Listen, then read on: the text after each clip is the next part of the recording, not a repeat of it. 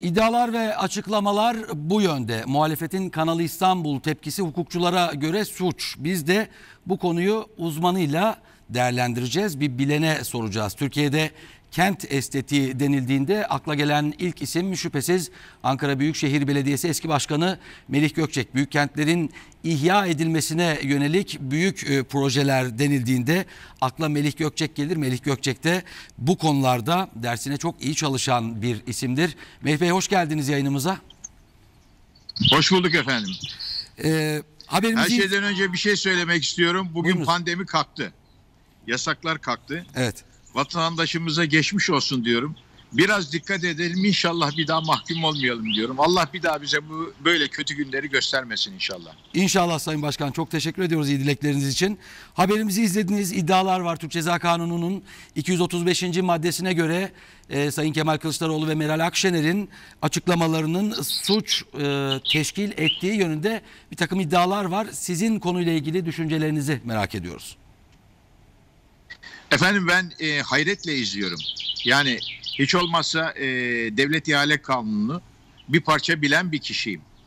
Bunu en ufak bilgisi olan bir kişi bu ifadeleri kullanamaz. Şu anda resmen Sayın Kılıçdaroğlu fitursuzca her tarafa saldırıyor ve aleni olarak suç işliyor. Yani hiç bunun yorumu falan yok. Şimdi ben kanun maddelerini size net olarak okuyacağım. Bu maddeleri okuduğumda bütün vatandaşlarım görecek ki şu anda çok ama çok büyük bir suç işleniyor. Türk Ceza Kanunu'nun 235. maddesi ihaleye fesat karıştırma başlığı taşır. Ve kamu kurumu veya kuruluşları adına yapılan mal veya hizmet alım veya satımlarına ya da kiralanmalara karşı ilişkin ihaleler ile yapım ihalelerine fesat karıştıran kişi 3 yıldan 7 yıla kadar hapis cezasıyla cezalandırılır der 235. madde. Hı hı. Ve şu işleri yapanlar aşağıdaki hallerde ihaleye fesat karıştırmış sayılır diyor ikinci madde. Bakın lütfen dikkatle dinleyin. Diyor ki ihaleye katılma yeterliliğine veya koşullarına sahip olan kişilerin ihaleye veya ihale sürecindeki işlemlere katılmalarını engellemek. Neymiş? İhaleye katılma ve e, katılma yeterliliğine veya koşullarına sahip olan kişilerin ihaleye veya ihale sürecindeki işlemlere katılmalarını engellemek. Şey çok aleni biraz önce seyrettik. Resmen tehdit ediyor Sayın Kılıçdaroğlu. Hı hı. C maddesi var. 235. C fıkrası var. Çok dikkat edin direkt Kılıçdaroğlu'nu tarif ediyor. Cebir veya tehdit kullanmak suretiyle ya da hukuka aykırı diğer davranışlarla ihaleye katılma yeterliliğine ve koşullarına sahip olan kişilerin ihaleye, ihale sürecindeki işlemlere katılmalarını engellemek. Çok aleni olarak tarif ediyor. Yani hiç lamıcımı yok yani. Direkt olaraktan tam tarif ediyor. Ee, Sayın Kılıçdaroğlu tehdit kullanmak suretiyle e, kişilerin ihaleye, ihale sürecindeki işlemlere katılmalarını engelliyor. Üçüncü madde var kanunda. Kanunda da öyle, şöyle diyor aynı e, 235'in üçü. Cebir veya tehdit kullanmak suretiyle işlenmesi halinde temel cezanın alt sınırı 5 yıldan az olamaz. 5 yıldan az olamaz. Yani şu anda eğer Sayın Kılıçdaroğlu mahkemeye düşerse yüzde yüz beş yıldan aşağı ceza almaz. Çünkü o kadar aleni ki yoruma filan tabi tutmak filan mümkün değil. Hı hı. Ve e, çok enteresan bir şey oldu. 30 Haziran'da yani geçtiğimiz günde e, bir ihale yapıldı. E, yaklaşık 3 milyarın üzerinde bir ihale. Ve bu ihaleye 5 e, tane firma girdi. Şimdi bu 5 firma e, en ucuzu 3 milyar 111 milyon vermiş teklif olarak. Hı hı. Acaba buna 5 değil de 10 tane girseydi bu iki buçuk milyar lira olabilir miydi olamaz mıydı? Evet. Olabilir. Daha ucuza mal edilebilir Bir firma miydi? ben bunlara girmedim, giremedim, korktum der mi? Der.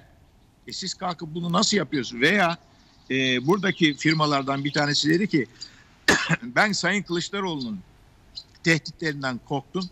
Onun için her ihtimale karşı fiyatımı yüksek verdim. Bu direkt kamu zararıdır. Bu kamu zararına da kim sebep oluyor? Direkt olaraktan e, kendisi sebep oluyor. E, şeyler e, özellikle vatandaşlarımız merak ederse ezer hukuk e, nokta koma girerse ben oradan aldım bunları. Hı hı. E, bir e, hukuk sitesi. Bu iki hukuk sitesinde ihaleye fesat karıştırma suçu ve cezasını işliyor. Bakın diyor ki orada ihaleye fesat karıştırma suçu şikayete bağlı suçlardan değil. Hah tam onu soracaktım Sayın Başkan. Mesela firmalardan biri ben korktum e, Kılıçdaroğlu'nun açıklamalarından girmedim demezse bile resen e, soruşturma açılabiliyor mu ya da dava açılabiliyor mu? Evet. Aynen okuyorum bak. İhaleye fesat karıştırma suçu şikayete bağlı suçlardan değildir. Bu sebeple suç oluştuğunda ve soruşturma makamları tarafından öğrenildiğinde yani savcılıkça öğrenildiğinde resen soruşturma işlemleri başlayacaktır. Şimdi artık bugün gündeme bugüne kadar gündeme gelmedi. İlk defa biz getiriyoruz bunu dikkat ediyorsanız gündeme. Evet. Gündeme getirdikten sonra savcılar buna resen bakmak zorunda. Sadece Kılıçdaroğlu değil, Kılıçdaroğlu gibi medyada da tehdit eden ne kadar kişi varsa hepsi ihaleye fesat sokmuş oluyor. Sadece Kılıçdaroğlu ile ilgili değil. Bazı gazeteciler de aynı lafları ediyor. Medya mensupları. Siz tehdit edemezsiniz arkadaş. Tehdit ettiniz mi neticesine katlanacaksınız. Ne olacak? Direkt olaraktan savcının karşısına çıkacaksınız. Şimdi biraz önce avukat arkadaşımız da ifade etti. Diyor ki bunu siyasi olarak filan da kullanabilirler. Kimsenin bunu siyasi olarak kullanmaya hakkı yok. Recep Tayyip Erdoğan'ın, Sayın Cumhurbaşkanımızın bu işten bir ilgisi yok. Bu direkt savcının işi. Yani e, Tayyip Bey'in herhangi bir şekilde şikayeti söz konusu değil. Benim şikayet etmem gerekmiyor.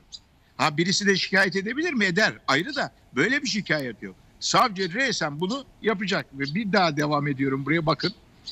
Zaman aşımı 15 yıl. Yani zaman aşımı olması mümkün değil. Mümkün değil. İhaleye fesat karıştırma suçunun sonucunda verilecek cezanın adli para cezasına çevrilmesi de mümkün değil.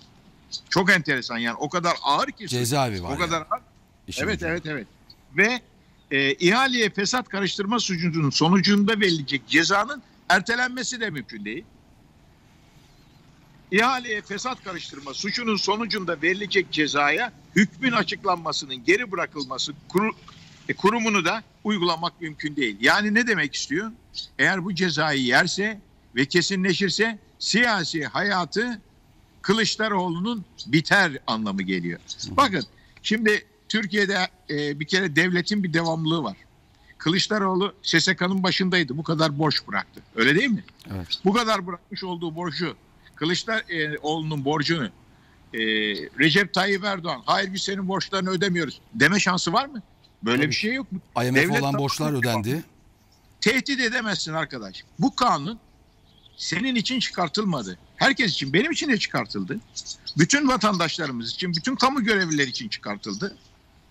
Ee, bütün vatandaşlar için çıkartıldı. Madem bu e, böyle, bunun neticesine katlanacaksın. Sen gidip miting yapabilirsin. Sen gidip protesto yapabilirsin. Sosyal medyadan konuşabilirsin. Ee, televizyonlarda konuşabilirsin. Ben bunu istemiyorum. Elimden geldiği kadar da önlemek için elimden gelen gayreti sarf edeceğim dersin.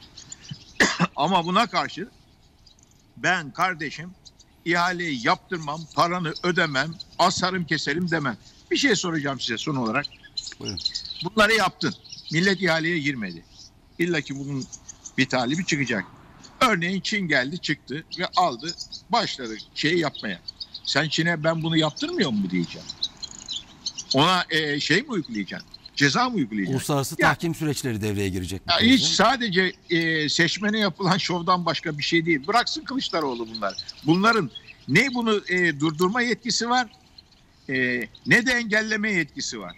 Ama seçmene şov yapıyor. Bak bu şov kendi siyasi hayatının sonu olacak Olabilir. Evet. Ee, Sayın Başkan bu arada e, bu tartışmayı TCK'nın 235. maddesi kapsamında gündeme getiren ilk televizyon kanalı da biz olduk. Beyazan Haber farkıyla bu tartışmadan haberdar olmuş oldu bizi izleyenler de. Çok teşekkür Evet. ediyoruz e, değerli katkılarınız Evet. için. Bir soru sormak istiyorum. Bağlantımızın magazinini de yapalım öyle noktalayalım. Son derece organik bir bağlantı oldu. Kuş sesleri geliyor Evet. arkanızdan. Evet. Neredesiniz? Nereden bağlandınız? E, Akçakoca'da evimizdeyim orada.